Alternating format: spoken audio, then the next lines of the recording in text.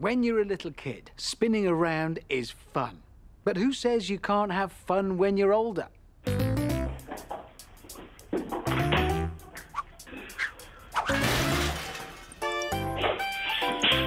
Hardly a classic example, but yes, we're talking head spins.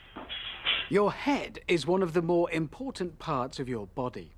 But if you're content to wear away that bit, then at least let the laws of science keep your other bits from harm. First, push yourself around to build up angular momentum. You can think of this as spinniness.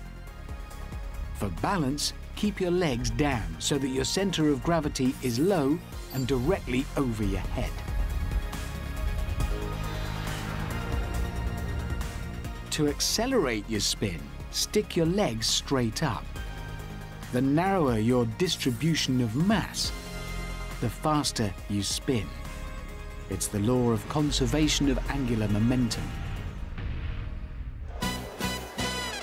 So, first off, getting into a spin. Some start slow, pushing themselves around by hand. Some go for fancy moves, building angular momentum before they enter the spin. And some don't do either. Whatever you do do, you do need to build up that angular momentum. Your head won't spin itself unless you're possessed.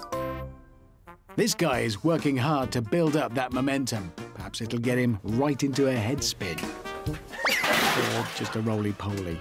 You're after a slightly more circular motion than that. And remember, keep your centre of gravity over your head, not beyond it. Even more tricky if you're going for the fancy moves technique. Oh, and especially difficult if you put a woolly hat over your head. Oh, don't worry. Nobody's looking. Least of all you. And that's just as well. Once you're in a spin, balance is largely about keeping your legs low and wide to maintain a low centre of gravity. But not that low. Oh, and do make sure the length of your legs doesn't exceed the space you're in.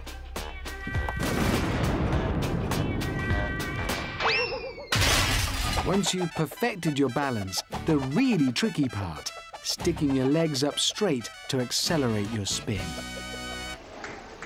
But there is one problem. The higher your legs, the higher your center of gravity, which won't help your balance or your reputation.